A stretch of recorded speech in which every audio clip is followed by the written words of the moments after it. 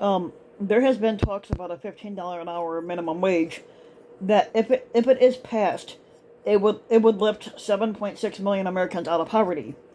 Um, the Urban Institute published a new a- analysis on what would happen if the federal minimum wage was increased to $15 an hour. The annual family earnings of nearly 56 million um, uh, million affected workers nationwide, their ab- their um, their um, their family income would raise about $5,600 if it's passed. If no worker if no workers lose their jobs with the $15 uh, $15 an hour minimum wage, 7.6 million people would be lifted out of poverty, which would be a good thing. But raising the but raising the minimum wage stands to benefit millions of Americans American workers. Supporters say lifting them out of poverty and increasing workers' family resources, but it has remained stagnant and untouched for over a decade. Now, a new analysis by the Urban Institute looked at the at the different ways that a $15 an hour minimum wage would impact the working class, like the working class families, including the debate over whether a higher minimum wage would end up taking jobs away from the very workers it's supposed to help. Um, the current federal minimum wage is seven twenty-five an hour, which is what it is in the state of Indiana where I live at, and it was established in 2009. Now, 30 different states and Washington, and Washington D.C. have set higher minimum wages, along with other cities across the country. But over the past decade, there has been a growing demand for increasing the federal minimum wage, as someone working a full-time job at 7.25 an hour does not earn enough to keep a family out of the, out of poverty. The researchers at Urban at the Urban Institute found that if a $15 an hour federal minimum wage was adopted, the annual family earnings of nearly 56 million Americans affected, like I said, would raise an average of $5,600. The Hispanic workers are set to see the largest increase in earnings and reductions of poverty, and it would raise their and it would raise their income by five thousand nine hundred dollars, and net family resources would increase by almost four thousand five hundred, while two point five million would be lifted out of poverty if you're Hispanic. Now, the African American workers would also benefit greatly, with Urban Institute estimating that 1.2 million people would be lifted out of poverty.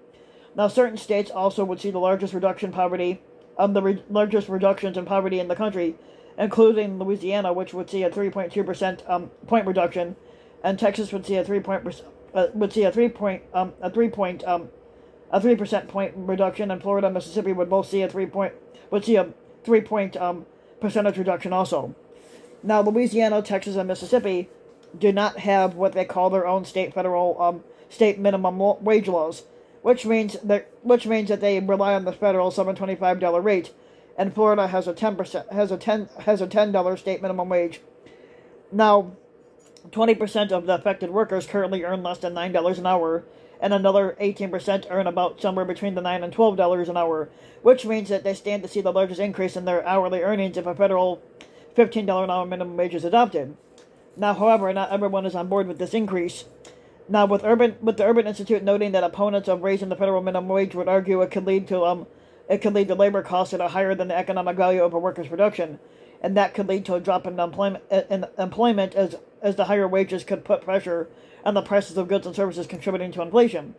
Now, employers may find alternatives to manage the cost of raising worker wages, like cutting back on the hours, um, but even if the Congressional Budget Office (CBO) in 2019 found that minimum wage increase may not change the average hours worked among workers who keep their jobs, but it's not clear how, employ- how employment can be impacted, as urban as the Urban Institute explains, that it depends on how much an affected worker's wage in- um, wage um worker's wage changes. Now, a worker who currently makes eight an hour and is bumped up to 15 will be more likely to lose their job than a worker who is going from 12 to 15.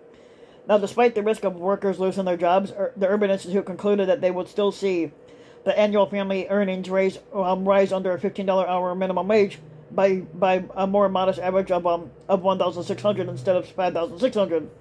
If no workers if no workers lose their job with a $15 hour minimum wage, 7.6 million people will be lifted out of poverty, as we mentioned before. Now the sen- now the now the senators Senator Bernie Sanders, who's an independent from Vermont, has been one of the strongest um, has been has one has been one of the country's strongest and loudest proponents for raising that minimum that minimum wage. And the senator introduced legislation last year that would establish a $15 hour minimum wage by 2025, but it has yet to be taken up by the House.